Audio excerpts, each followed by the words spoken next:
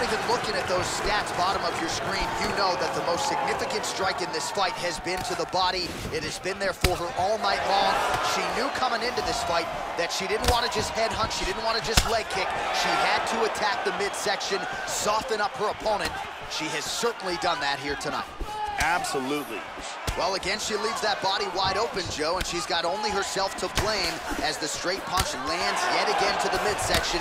She is leaning in and exceedingly vulnerable to those body punches. And that one certainly found the target.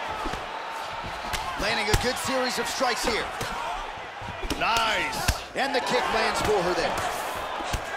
Well, she may need to drop the elbow, Joe. Look at the bruise on the side of her body. Of course, you drop the elbows, you open yourself up to damage upstairs. Gotta pick your poison, though. Not a good spot for her here. Big punch.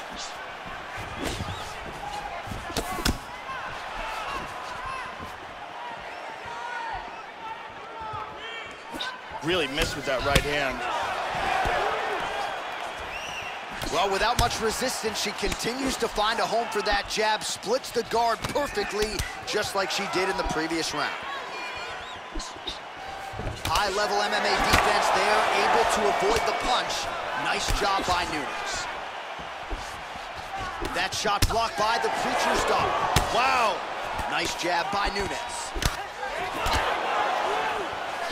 Going out of the body with that hook. Well done there by Holm. They're both landing bombs on each other. Well, she was a little bit hesitant in round one, but she has certainly picked up the pace here in this second round. Wow! This could be it.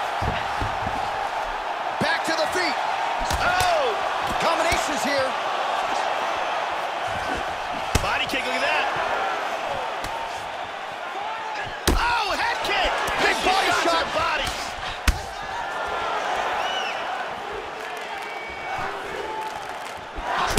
Establish that jab. Big shots.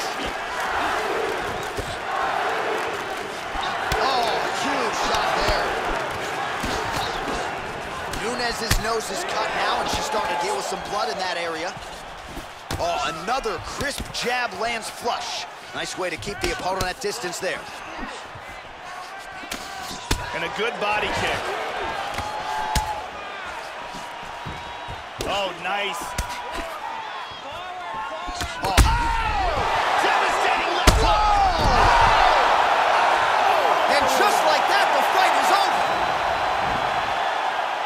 here's the end. Here we go.